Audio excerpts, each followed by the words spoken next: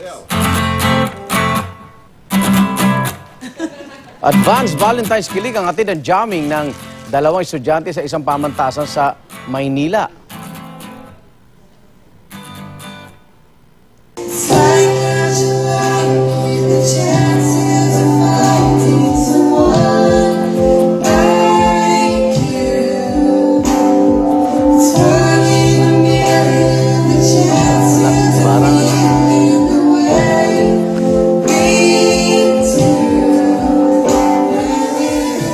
Yan ang song cover ng physical therapy students sina Belicia Ann Camacho at Ralph Quiñones ng pamantasan na lungsod ng Maynila sa awiting Can I Have This Dance mula sa hit musical movie na High School Musical 3.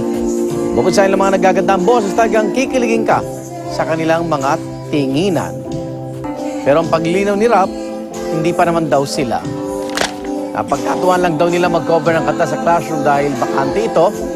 Ang video nila Belicia at Ralph may may, may apat na raang libong views na sa social media.